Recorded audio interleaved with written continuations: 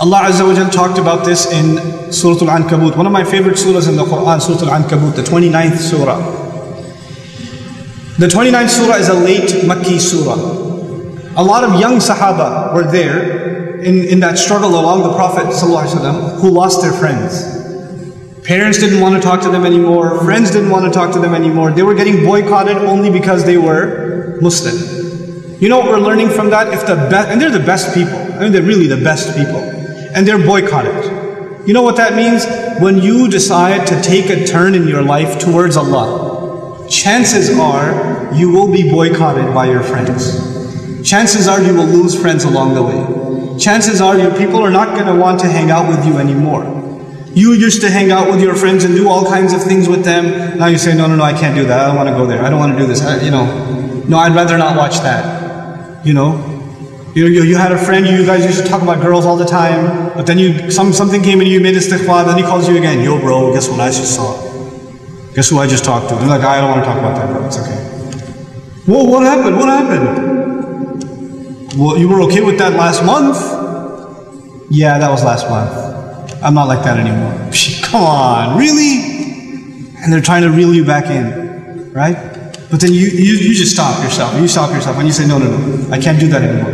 So you know what's going to happen? They're going to say, you're no fun anymore. There's no fun hanging out with you anymore. And they'll cut you out. Again, you don't give up on them, but they will. They have no reason to not give up on you. They'll give up on you. And that kind of, they can make you really depressed. You can feel like, I mean, I don't, ever since I started getting more serious about Allah's deen, I started losing friends. And friends are a big part of life. You, it's, it's a really valuable thing to have in life, right? It's, what are we going to do without our friends? You know? So what does Allah say as a consolation to these Sahaba who are losing friends? Who are even losing family in some cases. Their parents are giving up on them. Like Sa'ad ibn Abi Waqqas radiallahu ta'ala, right?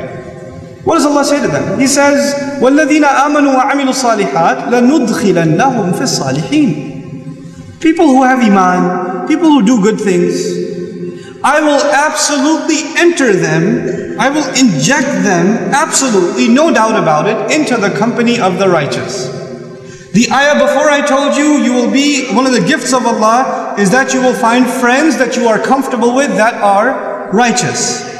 But then you, you say to yourself, well, how am I going to get those friends? And this ayah Allah tells us, look, you lost friends, I see that. You're isolated, you've been boycotted, I see that. You continue to believe in me and do the right thing and you watch. I will put you in the middle of really good people.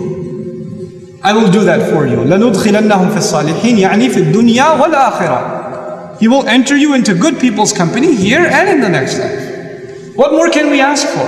And I can tell you, this is an absolute fact. It's an absolute fact. My, the, the organization I represent, for example, is not a one man show. It's not just me. Actually, most of the things that get done in my organization, almost all of the things that get, get done in Bayyinah, get done by someone other than myself.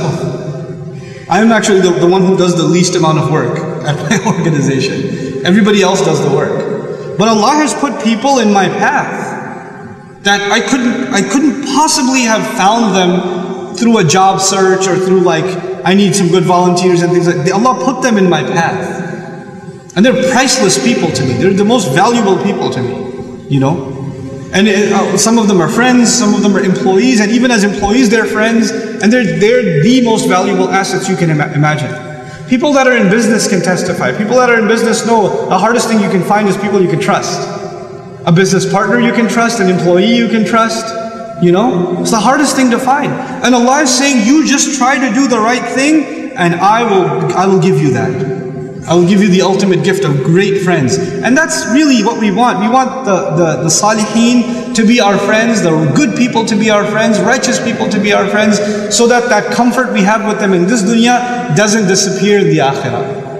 You know, al-akhilla, you know, يَوْمَئِذٍ بَعْضُهُمْ لِبَعْضٍ عَدُوٌ Allah already said that. Friends will be enemies on that day. People are going to run from each other on that day, but not these people. إِلَّا الْمُتَّقِينَ except people of taqwa. So that's really my hope for myself and for all of you. Be on the lookout for good friends, but more than that, you be the good friend yourself. You be a source of good influence.